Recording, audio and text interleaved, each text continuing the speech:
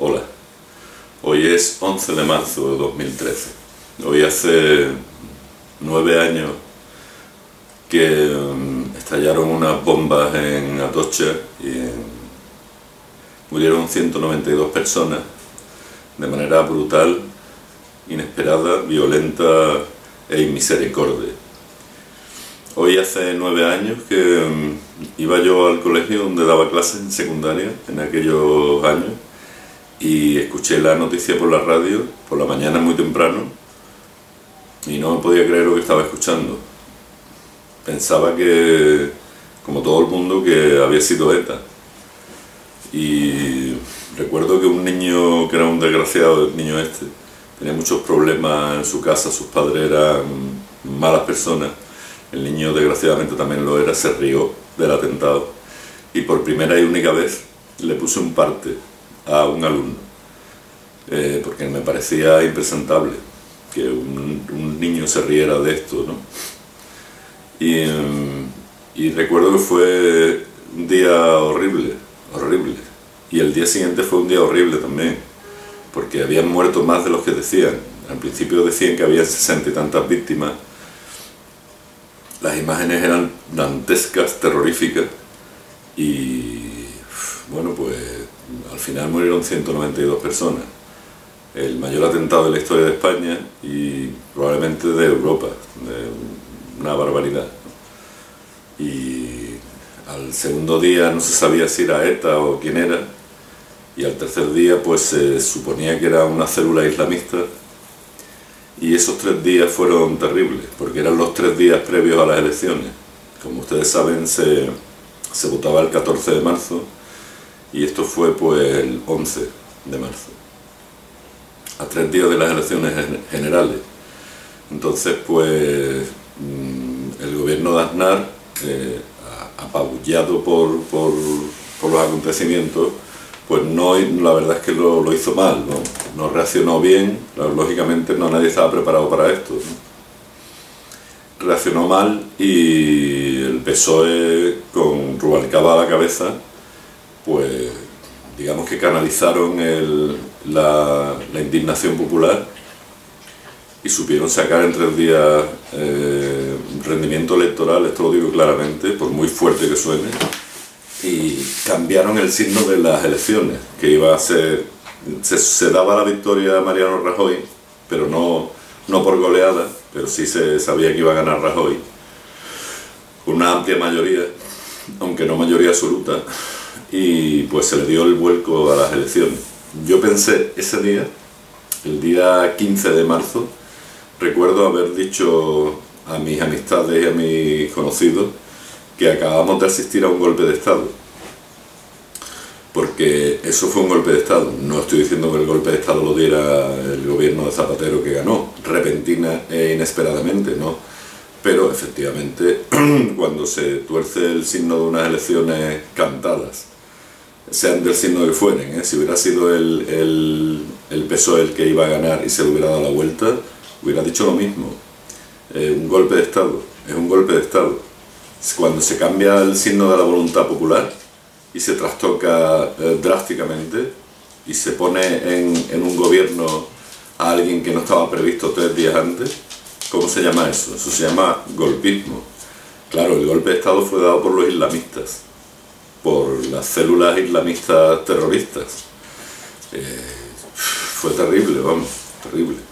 Después empezaron a decir que no estaba claro, que si había una conexión con ETA, pero sinceramente eso queda para los estudios de los especialistas. La realidad es que hubo 192 muertos y que se cambió el signo de las elecciones.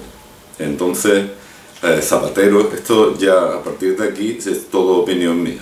Eh, yo creo que Zapatero era un, lo que se suele llamar un hombre de paja, alguien que, a quien quemar, que pusieron allí un poco así buenista y tal, pensando que de ninguna manera iba a ganar las elecciones, que se iba a quemar en la oposición y luego saldría alguien, pues no sé si Rubalcaba o Carmen Chacón o cualquiera de estos eh, listos que hoy se les va el PSOE por, las manos y para eh, enfrentarse en las siguientes elecciones pero de repente se vieron que habían ganado. De repente se vieron que habían ganado las elecciones y que no tenían ni programa, ni equipo de gobierno, ni ideas, ni nada, nada. Solo tenían la costumbre de vivir de la política y estaban hechos a que iban a ser oposición. Y de hecho durante mucho tiempo fue un, gobierno que parecía más una oposición que un auténtico gobierno. Y sin ideas y sin nada pues se dedicaron pues eso, a repartir el tesoro encontrado, dilapidar eh, lo que las arcas del Estado, mm, empezar a hacer una legislatura mm, penosa en la que se tiraron por tierra muchos avances conseguidos. por ejemplo, ETA estaba prácticamente acabada, estaba terminada y a base de hacer pactos en el País Vasco con el PSOE, pues Zapatero permitió lo impensable, que ETA volviera otra vez a, resucitó, en mi opinión resucitó a ETA y les dio carta de naturaleza como partidos políticos. Esto es lo que hizo Zapatero. Yo seguía las noticias como ahora todos los días, por la radio, periódicos, televisión, y ETA estaba acabada, estaba técnicamente muerta. Zapatero la resucitó, claramente. Después a los catalanes les dio alas permitió en su traca final con yo firmaré lo que ustedes me digan. ¿no? Eh, les dio un estatuto que era un cheque en blanco y ahora recogemos los, los, lodos de aquellos polvos.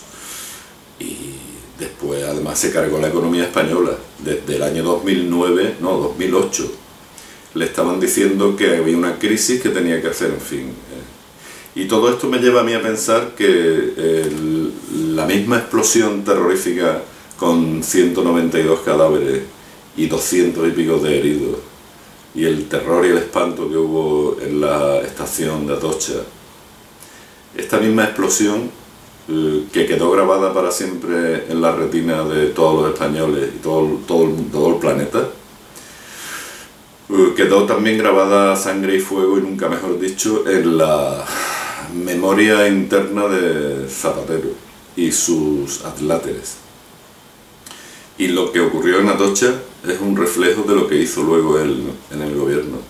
Eh, reventó los trenes españoles, reventó la economía española, destrozó eh, las arcas del Estado, dilapidó el dinero de una manera irresponsable absolutamente, pulverizó el futuro de, nuestros hijos y el nuestro, abocó a España a 10 o 15 años de miseria superlativa, negó la evidencia, no hizo nada para evitarlo.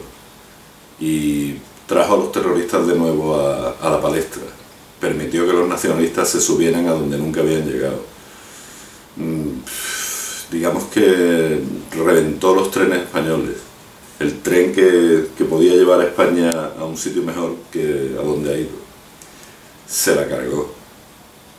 Hoy hace nueve años, hoy 11 de marzo, hace nueve años del peor atentado de la historia de España y de uno de los golpes de Estado encubiertos más graves y con peores consecuencias que ha tenido la historia de la política española, que fue el golpe de Estado que dieron los islamistas entregándole el poder a un irresponsable. Solamente quería conmemorar este desgraciadísimo día y, en fin, lamentar, eh, dar el pésame a las víctimas, a los familiares de las víctimas y darle el pésame a todos los españoles. Que desde aquel día pues firmamos nuestro futuro en color negro. Adiós.